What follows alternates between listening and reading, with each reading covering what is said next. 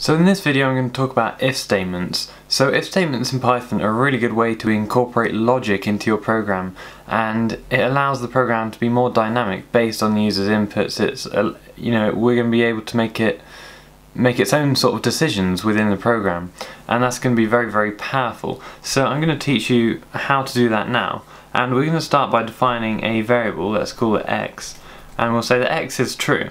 So we've done variables already so we can you know print x and it will give the value true.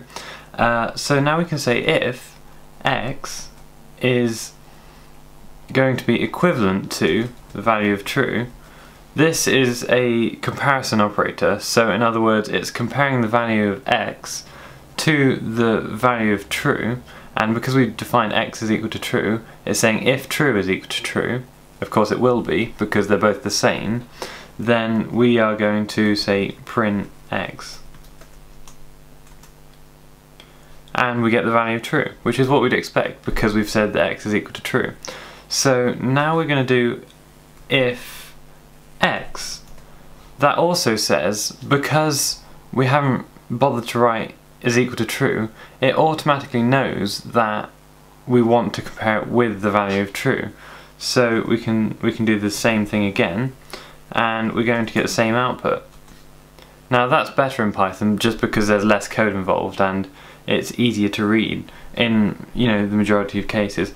And um, it also works with integers as well as uh, you know just true or false values or boolean values. So we can do let's say x is equal to 7 we can do if x is equal to 7 then print let's say x equals 7 so it gives x equals 7 because that's you know evaluated that code and it's determined that x is equal to 7 if we said something like if x is equal to 8 print if I can type print uh, x is equal to 8 then that's not going to run that line of code. This print statement here is not going to be executed because it's looking at x and it's saying, okay, x is equal to 7. We defined it just here, uh, saying x equals 7. And we're going to compare 7, or the value of x in other words, to the value of 8. And if the two are the same, then we're going to run this line of code. Otherwise, we're not. So that allows us to incorporate uh, you know, logic and that allows the program to make its sort of own decisions based on the user's input, which is really important in Python. So we're going to go over to this program now and see if we can incorporate an if statement into this program. So let's define another variable and we're going to say is male equals true. So remember this equation is only for males here. So we're going to say if is male, remember we can do that. We don't have to say equal equals true because uh, if we just put the value, it'll assume that we want to compare it with the value of true. Uh, so we can just say is male, and then remember to indent this line of code here because Python is uh, you know, it runs on white space, so it's very important that you use the correct indentation or you will get an error in Python. So now that we've got that, it's only going to run if this value is true, and otherwise uh, it's not going to do anything. So let's run this and see what happens.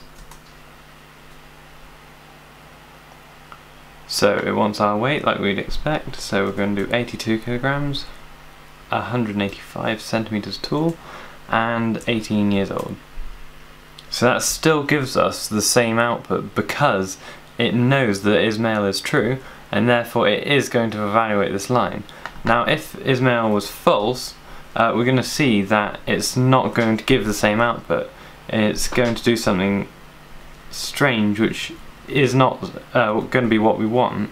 Um, and I'll just show you that now when I input these values. Uh, I'm going to input the same ones as before and now we get an error because it's saying BMR is not defined and that's because the, the definition of BMR is in this line uh, in the if statement But this line is only going to be executed if is male is true. And is male we've just defined as being false. So it's not running this line and therefore not defining uh, the BMR variable, uh, which is here. So we're going to solve this problem in the next video when we talk about else.